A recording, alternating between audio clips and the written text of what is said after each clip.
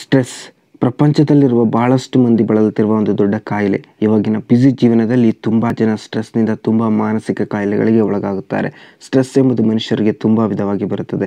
ಕೆಲವೊಬ್ಬರಿಗೆ ಆಫೀಸ್ ಅಥವಾ ಕಂಪನಿಯಲ್ಲಿನ ಅತಿಯಾದ ಕೆಲಸದ ಒತ್ತಡದಿಂದ, ಹಣಕಾಸಿನ ಸಮಸ್ಯೆಯಿಂದ ರಿಲೇಷನ್ಶಿಪ್ ಬ್ರೇಕಪ್ನಿಂದ ಅತಿಯಾದ ಮೊಬೈಲ್ ಅಥವಾ ಕಂಪ್ಯೂಟರ್ ಬಳಸುವುದರಿಂದ ಆದರೆ ಸ್ಟ್ರೆಸ್ನಿಂದ ಹೊರಬರಬೇಕೆಂದರೆ ಅದಕ್ಕಿರುವ ಒಂದು ಪರಿಣಾಮಕಾರಿ ಮಾರ್ಗವೆಂದರೆ ಮೆಡಿಟೇಷನ್ ಮೆಡಿಟೇಷನ್ ಎಂಬುದು ಎಷ್ಟೋ ಸಾವಿರ ವರ್ಷಗಳಿಂದಲೂ ಇದೆ. ಆದರೆ ಅದರ ಉಪಯೋಗ ಮಾತ್ರ ಇತ್ತೀಚೆಗಷ್ಟೇ ಪ್ರತಿಯೊಬ್ಬರಿಗೂ ಕೂಡ ಅರ್ಥವಾಗಿದೆ.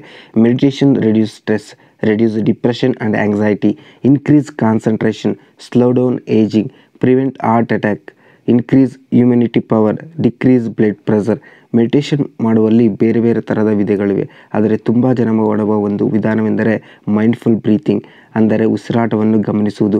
ಈ ವಿಧಾನದಲ್ಲಿ ನಿಮ್ಮ ಬೆನ್ನು ನೇರವಾಗಿರುವಂತೆ ನೋಡಿಕೊಳ್ಳಬೇಕು. ತುಂಬ ಜನ ಪದ್ಮಾಸನದಲ್ಲಿ ಕುಳಿತುಕೊಳ್ಳಲು ಹೇಳುತ್ತಾರೆ. ಆದರೆ ಅದು ಎಲ್ಲರಿಗೂ ಕೂಡ ಸಾಧ್ಯವಾಗುವುದಿಲ್ಲ. ನಿಮಗೇನಾದರೂ ಮೊಣಕಾಲು ನೋವಿದ್ದರೆ ಒಂದು ಚೇರಿನ ಮೇಲೆ ಕುಳಿತುಕೊಳ್ಳಬಹುದು. ಆದರೆ ನಿಮ್ಮ ದೇಹ ಆರಾಮಾಗಿ ಸಡಿಲವಾಗಿರಬೇಕು ಮತ್ತು ನೇರವಾಗಿರಬೇಕು. ಮತ್ತು ನಿಮ್ಮ ತಲೆ ನೇರವಾಗಿ ನಿಮ್ಮ ಕೈಗಳು ನಿಮ್ಮ ತೊಡೆಯ ಮೇಲೆ ಆರಾಮಾಗಿ ಇರುವಂತೆ ನೋಡಿಕೊಳ್ಳಬೇಕು. ನಂತರ ಒಂದೆರಡು ಸಾರಿ ಜೋರಾಗಿ ಉಸಿರನ್ನು ತೆಗೆದುಕೊಂಡು ಬಿಡಬೇಕು. ನಂತರ ನೀವು ಬಲವಂತವಾಗಿ ಉಸಿರನ್ನು ತೆಗೆದುಕೊಳ್ಳುವುದನ್ನು ಬಿಟ್ಟು ಉಸಿರಾಟ ತನ್ನಿಷ್ಟಕ್ಕೆ ತಾನೇ ಆಗುತ್ತಿರುವುದನ್ನು ಗಮನಿಸಬೇಕು. ನಿಮ್ಮ ಉಸಿರಾಟ ಪ್ರಕ್ರಿಯೆ ದೊಡ್ಡದಾಗಿ ನಡೆಯುತ್ತಿದೆಯೇ, ಚಿಕ್ಕದಾಗಿ ನಡೆಯುತ್ತಿದೆಯೇ? ನಿಮ್ಮ ಉಚ್ಛ್ವಾಸ ಮತ್ತು ನಿಶ್ವಾಸ ನಡುವಿನ ಸಮಯವೆಷ್ಟು? ನೀವು ಗಾಳಿಯನ್ನು ತೆಗೆದುಕೊಳ್ಳುವಾಗ ನಿಮ್ಮ ಮೂಗು ಎಷ್ಟು ಎಕ್ಸ್ಪೆಂಡ್ ಆಗುತ್ತಿದೆ?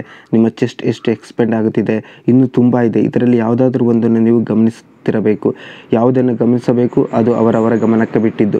ಮೆಡಿಟೇಷನ್ ಆರಂಭಿಸಿದ ಮೊದಲ ದಿನಗಳಲ್ಲಿ ಕೇವಲ ದಿನಕ್ಕೆ ಮೂರು ನಾಲ್ಕು ನಿಮಿಷಗಳ ಕಾಲ ಮಾಡಿ, ನಂತರ ನಿಮ್ಮ ಸಮಯವನ್ನು ಹೆಚ್ಚಿಸುತ್ತಾ ಹೋಗಿ. At least fifteen to twenty minutes meditation ಮಾಡಿದರೆ ತುಂಬ ಒಳ್ಳೆಯದು. ಮೆಡಿಟೇಷನ್ ಮಾಡಿದ ನಂತರ ನಿಮ್ಮ ಕಣ್ಣುಗಳನ್ನು ತುಂಬ ನಿಧಾನವಾಗಿ ತೆಗೆಯಬೇಕು ಮತ್ತು ನಿಮ್ಮ ಮಿದುಳು ಎಷ್ಟಿ, ಎಷ್ಟೊಂದು ರಿಲ್ಯಾಕ್ಸ್ ಆಗಿದೆ ಎಂಬುದನ್ನು ಗಮನಿಸಬೇಕು. ನೀವು ಮೆಡಿಟೇಷನ್ ಆರಂಭಿಸಿದ ಮೊದಲ ದಿನಗಳಲ್ಲಿ ನೀವು ಸರಿಯಾಗಿ ಕಾನ್ಸಂಟ್ರೇಷನ್ ಮಾಡಲು ಆಗುವುದಿಲ್ಲ. ನೀವು ಎಷ್ಟು ಪ್ರಯತ್ನಿಸಿದರೂ ಕೂಡ ಒಂದೊಂದು ಸಾರಿ ನಿಮ್ಮ ಕೈಯಲ್ಲಿ ಕಾನ್ಸಂಟ್ರೇಷನ್ ಮಾಡೋದು ತುಂಬ ಕಷ್ಟ. ಇಂಥ ಸಂದರ್ಭದಲ್ಲಿ ನಿರಾಸರಾಗದೆ ಮುಂದಿನ ದಿನ ಪ್ರಯತ್ನಿಸಬೇಕು. ಕೇವಲ ಐದು, ಹತ್ತು ದಿನಗಳ ಕಾಲ ಮಾಡಿ ನನಗೆ ಇದರ ಯಾವುದೇ ಪ್ರಯೋಜನ ಸಿಗುತ್ತಿಲ್ಲ ಎಂದು ಹೇಳಬಾರದು. ಮೆಡಿಟೇಷನ್ ಎಂಬುದು ಲಾಂಗ್ ಟರ್ಮ್ ಬೆನಿಫಿಟ್ ನೀವು ಒಂದು, ಎರಡು ತಿಂಗಳುಗಳ ಕಾಲವಾದರೂ ಮಾಡಬೇಕು. ನಂತರ ಅದರ ಪ್ರಯೋಜನ ನಿಮಗೆ ಅರಿವಾಗಲು ಆರಂಭಿಸುತ್ತದೆ. ಇದರಿಂದ ಆಗುವ ಒಂದು ಪ್ರಮುಖ ಉಪಯೋಗವೇನೆಂದರೆ ನೀವು ಪದೇ ಪದೇ ಕೆಲವೊಂದು ವಿಷಯಕ್ಕೆ ಬೇರೆಯವರ ಮೇಲೆ ಕೋಪಿಸಿಕೊಳ್ಳುತ್ತಿದ್ದರೆ ಇದು ತನ್ನಿಷ್ಟಕ್ಕೆ ತಾನೇ ಮಾಯವಾಗಿ ಹೋಗುತ್ತದೆ. ಯಾವುದೇ ಸಂದರ್ಭದಲ್ಲೂ ಕೂಡ ನಿಮ್ಮ ಮನಸ್ಸು ನಿಮ್ಮ ಮೆದುಳು ತುಂಬ ಪ್ರಶಾಂತವಾಗಿ ನಿರ್ಧಾರವನ್ನು ತೆಗೆದುಕೊಳ್ಳುತ್ತದೆ ಮತ್ತು ನಿಮ್ಮ ಕಾನ್ಸಂಟ್ರೇಷನ್ ಎಂಬುದು ಹೆಚ್ಚುತ್ತದೆ, ನಿಮ್ಮ ಸ್ಟ್ರೆಸ್ ದೂರವಾಗುತ್ತದೆ. ಫ್ರೆಂಡ್ಸ್ ಇದು ಮೆಡಿಟೇಷನ್ನಿಂದ ಆಗುವ ಉಪಯೋಗಗಳು. ಈ ವಿಡಿಯೋ ಇಷ್ಟವಾದಲ್ಲಿ ದಯವಿಟ್ಟು ಲೈಕ್ ಮಾಡಿ ಮತ್ತು ನಿಮ್ಮ ಸ್ನೇಹಿತರಿಗೂ ಕೂಡ ಕಳಿಸಿ. I wish all the best future thanks for watching please subscribe to our channel have a nice day